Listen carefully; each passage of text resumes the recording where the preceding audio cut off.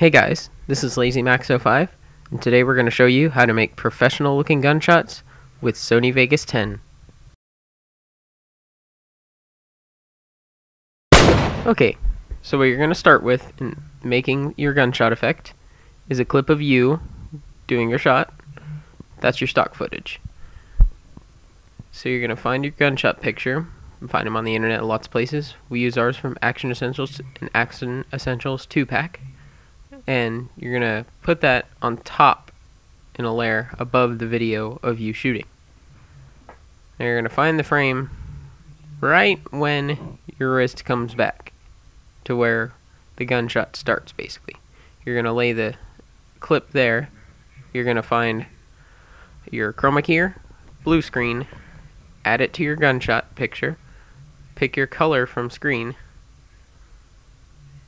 and you're gonna find the color black take out the color black. And adjust the settings in the blue screen uh, toolbar till you have the effect you want just enough to where it looks smooth. And be sure to turn the quality up because sometimes it leaves behind black lines around the picture. So change that. Changing up levels. And that seems to look good. So you find the frame where that comes in, and now you're going to event pan and crop your picture of the gunshot and move it to the front of the gun. Some people make them small like this, which isn't right. You want people to notice the gunshot.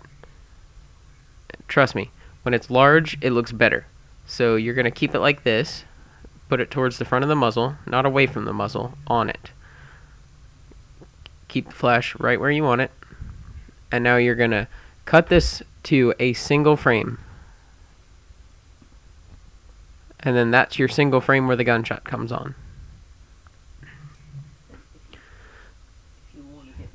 Then, if you want to get more advanced with it and add the flash effect, you're going to right click on your track, copy, paste it in the level above it. And then, if you want to, you can get rid of the audio.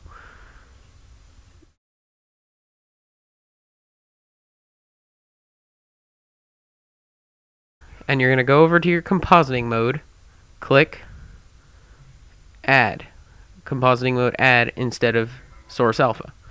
It's going to be all bright like this. And as well as adding, for the three frames during that gunshot, you will add a fade coming back towards the front, or fade out. So, now you're going to go into your pan and crop, go to your mask tool on the first frame. Now you're going to click on the anchor tool. You're going to use this anchor tool to draw on parts of your body that would be lit up definitely by the gunshot. So part of your chest, your face, some of your hand, and other objects in the environment that would light up. Once you feel good about the mask, you're going to click on your masks, every single one. You're going to turn the feathering up to a point where it looks like this.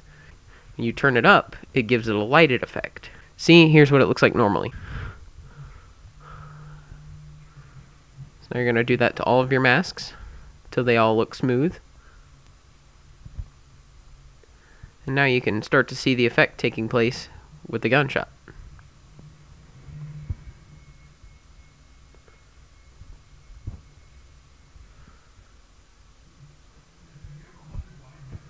So after we've got all of these done, you're going to go into keyframing and frame by frame select, right click on the mask, say select path, and change each frame where the uh, gunshot lighting is going to go. And you only have to change this for the two frames after your first one. And here's what that looks like nice and smooth. The gunshot lighting with the add is one final effect should look like this.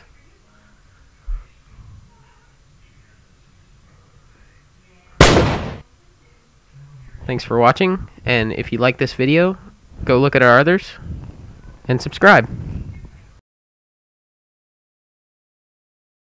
If you like our videos, give us a thumbs up below and subscribe.